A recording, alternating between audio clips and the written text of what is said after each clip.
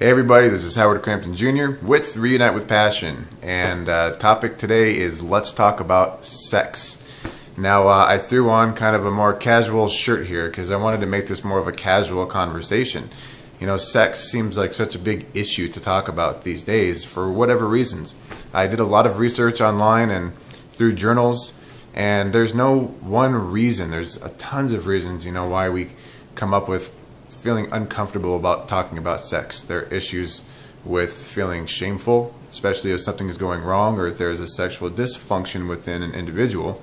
Uh, there are other excuses, you know, that, well, this is just what we were built upon in the United States, which I think is just a bunch of BS because uh, I've met tons of people and families who are open about talking about sex. So, for whatever reason, I want to communicate it today so that we can start talking more about sex. Now, we don't have to necessarily go into all the juicy details about sex. And maybe that's part of the reason why uh, we feel uncomfortable about talking about it. It's kind of where is this border? Where is um, where is the edge of what is okay to share and what's okay not to share? And this just doesn't go with sex, does it? Let me give you an example. A lot of times we want to self-express, right? We just want to be ourselves. We don't want to be judged. We just want to live life and be happy. But we're always judged by somebody else, right? So at what level is it okay to use certain cuss words, if at all, right? At what level is it okay to dress like yourself if you're showing up to a certain event? Maybe you're supposed to dress up really nice and fancy, but you want to make it your own.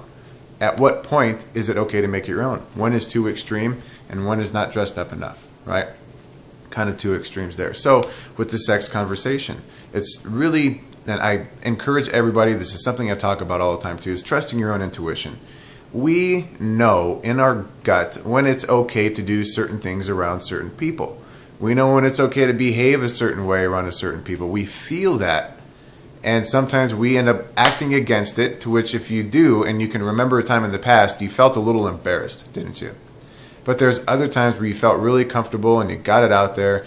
You said it because it felt natural. There wasn't any hesitation. You did it, and people, you know, were all involved and laughing or doing the same thing, whatever it was. So, in communicating about sex, there was. A, I want to use an example about a friend of mine's family, and she was she's a young mom, and maybe that's the reason why. Who knows? But uh, one of her sons is about 16, 17 years old, and she's about 34, I think, 35 maybe 36, somewhere around there. And they, they talk about everything and anything. She talks about having to wake him up one morning and, and waking him up. Uh, her little boy, she pulled the sheets off. Well, now he's a grown man, and she saw something that was kind of quite to her surprise. And uh, he was a little embarrassed. she was a little embarrassed at first, but eventually they both were just like, "What are you doing? doing that kind of stuff? I'm a I'm a grown man, I'm 17, and you can't be doing that stuff anymore. But they made a joke about it, and they're able to be open and and express it, talk about it, you know, to their friends and to their family. Anyway, and I thought, wow, what a good example because there's no embarrassment. You know, when when we feel that we can't talk about something, that just builds walls and barriers between us and the other people that we want to communicate with. There's a level of discomfort that we end up having to just suck it up, you know, who cares? It's not that big of a deal, right? Or whatever excuses we give it. But again, the more that we know about each other, the better chances we have of survival. The more able we feel that we're we can express ourselves and our being and our passions. Again, we don't have to go into the juicy details about these kind of things, but just to get it out there, just to open up and just to talk about sex on a surface level, right? And then people always end up getting excited. You bring it up in an event, people always start laughing because they know it's true. We all have that desire to communicate these kind of things.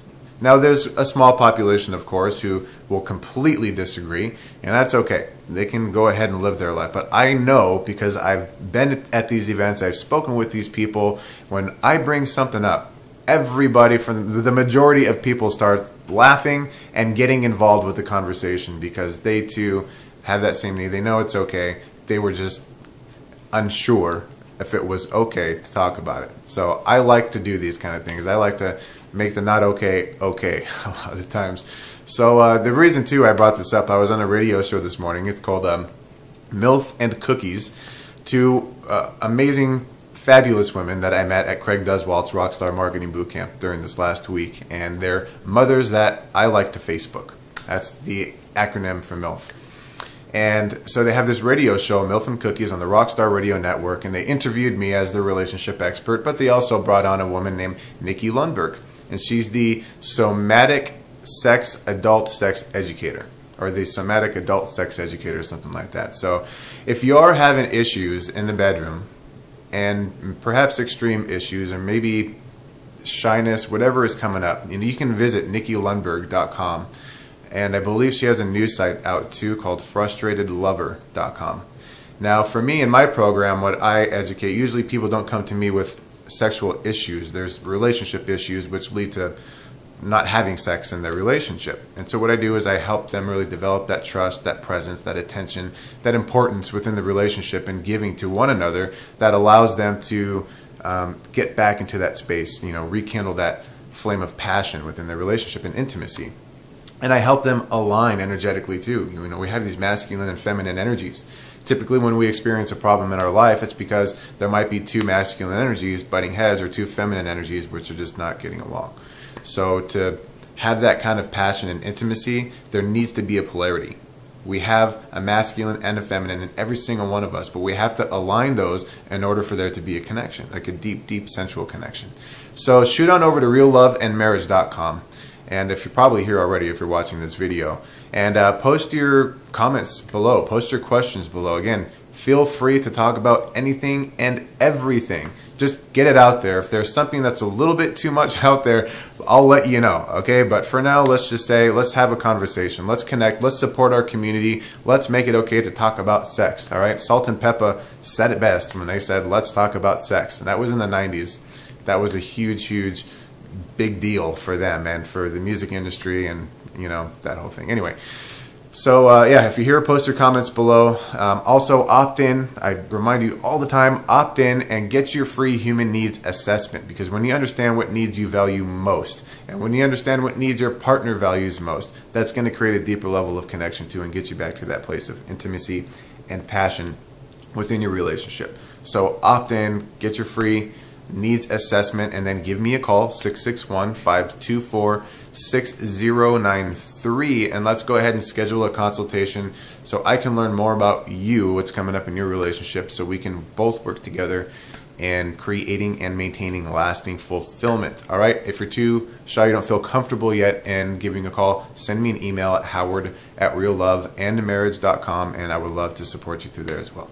Talk to you soon and see you in the message board. Bye bye.